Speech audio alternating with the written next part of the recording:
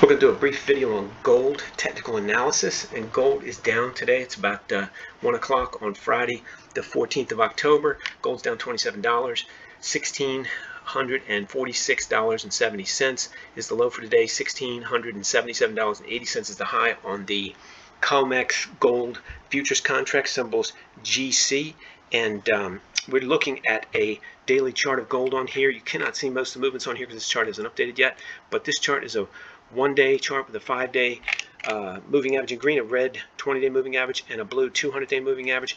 Gold is still essentially within the range that it was yesterday. It's made a slight new low today.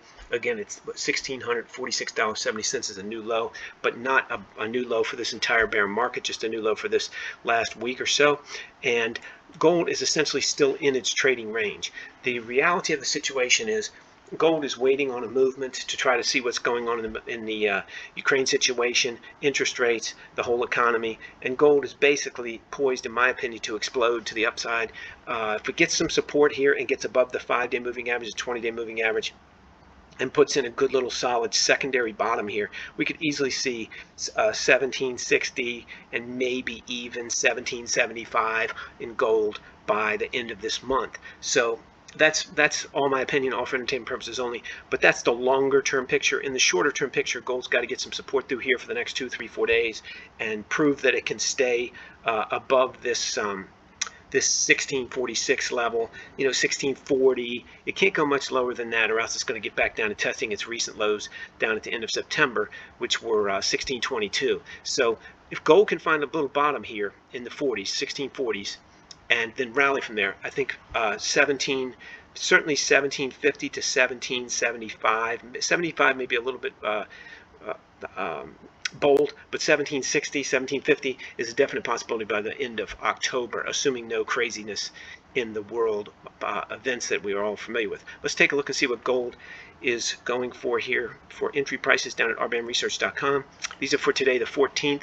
We've got a short position out on gold at 1647 and 52 cents. So let's see here. So that was live and made a few bucks already on gold. You could have closed that one out. And same thing here.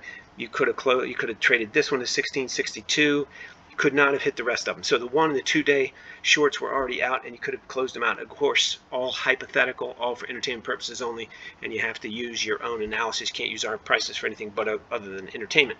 You definitely trade at your own risk, but it's really interesting and you can get access to all of these every morning before 7 a.m. Monday through Friday at rbamresearch.com. They're absolutely free, no credit card required. There's a link in the description below to RBAM Research. Just follow it over there, put in your email address and get free access immediately. Again, no credit card required. We put out 190 plus stocks, uh, entry prices for, and entry prices for the major forex pairs, BTC crypto, and the most liquid futures contracts, including gold. If you like this video, please click the like button. If you want to subscribe, please do that as well. If you want to leave us a great com comment, we'd love to hear it in the comment section below. And keep in mind, everything you've seen and heard on here, including our entry prices, are for entertainment purposes only. Can't use them for anything other than entertainment. You should always do your own analysis, and you definitely trade at your own risk.